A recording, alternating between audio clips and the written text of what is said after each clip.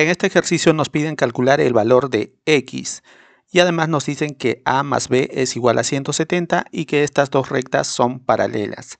Ahora nosotros por propiedad sabemos que en un ángulo llano, si un pedacito mide beta, el otro lado va a medir 180 menos beta.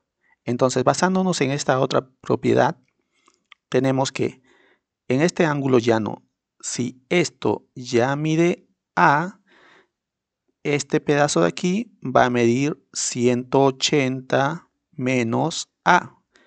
Del mismo modo, si esto ya mide X, este trozo de aquí va a medir 180 menos X.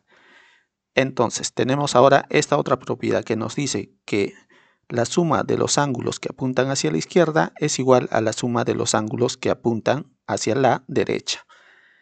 Y aquí lo único que tenemos que hacer es eso. Quienes apuntan hacia la izquierda, empezamos a sumar, apuntan 180 menos A más 50 más teta, todo eso será igual a 180 menos X más B más teta más 10.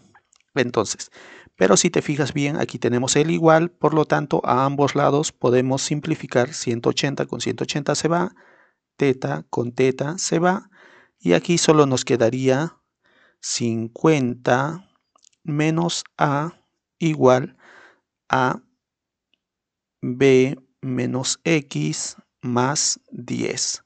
Ahora, el X vamos a pasarlo a este lado con positivo, Aquí colocamos B. El menos A lo traemos acá con más A. Aquí está el más 10.